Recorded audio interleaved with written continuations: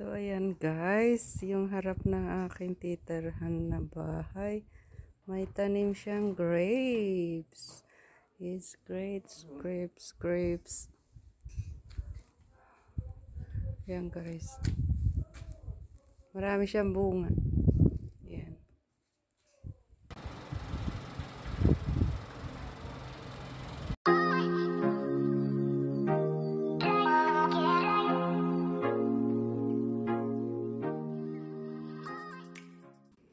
Hello guys. It's a long weekend na naman guys. Kaya ito na naman si Inday Explorer. Mama, ma- mamahinga na naman siya ng dalawang gabi sa kabundukan. Kaya samahan niyo ko guys. Itutur ko kayo kung saan ako titira. Ayan, dito tayo ngayon sa Pharmacas Living. So, ipapakita ko sa inyo yung aking room. Ayun guys, lucky number 3, Pharmacas Living. Dito sa Cyprus yan guys.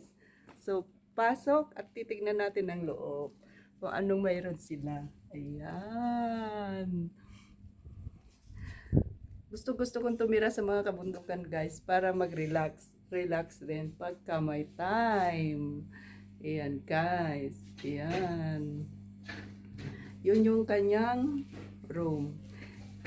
Malit na bahay lang ito guys. So pinapaupahan nila for a short weekend or a long holidays. Pwede siya. At very affordable siya. Yan.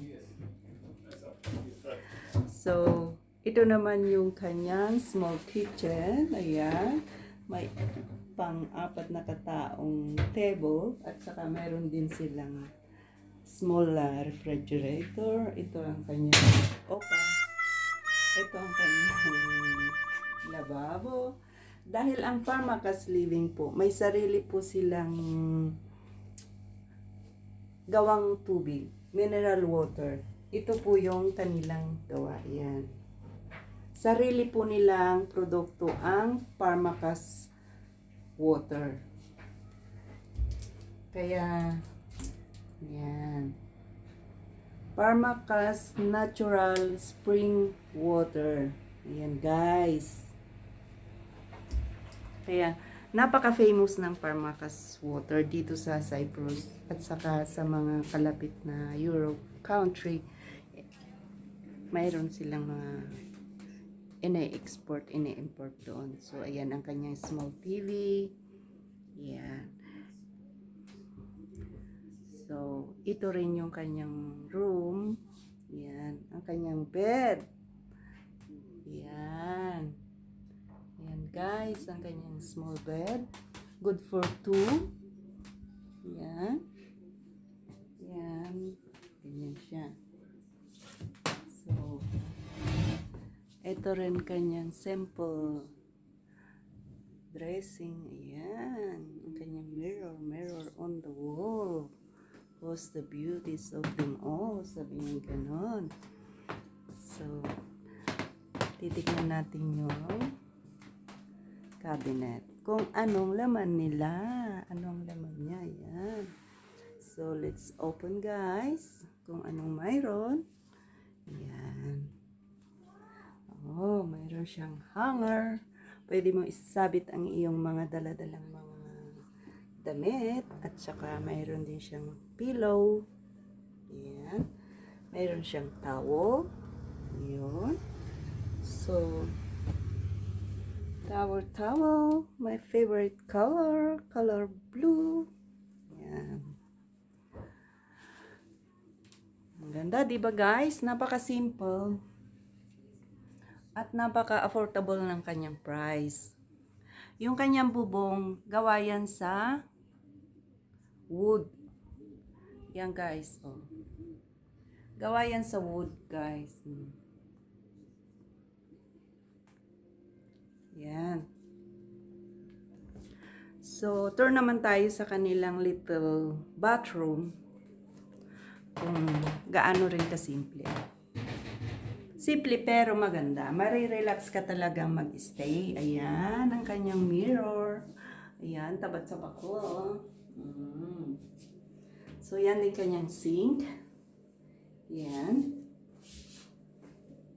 Ito rin ang kanilang shower. Ayan, guys. So, pasok tayo sa kanilang shower. Shower.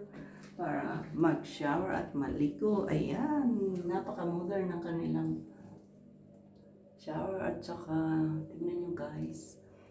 Mayroon siyang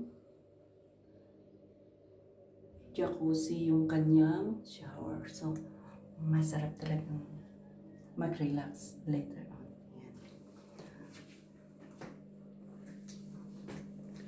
So, mayroon din siyang heater for the winter. Pero hindi natin magagamit yan guys ngayon dahil nga summer dito sa Cyprus. Ayan. So, ang kanilang pintuan is made with the wood also. Ayan. Ayan, labas tayo. Labas tayo sa, ngayon naman sa veranda. Kung gaano kaganda ang tanawin sa veranda. Ayan. Dahil yon ang hanap natin, yung kagandahan ng view para tayo ma-relax ng bonggang-bongga. Ayan guys, welcome. Ganda, di ba? So, yan ang iyong makikita sa Pharmacas Living. Yan. Super, super ganda ang kanilang tanawin. Malabundukin-bundukin.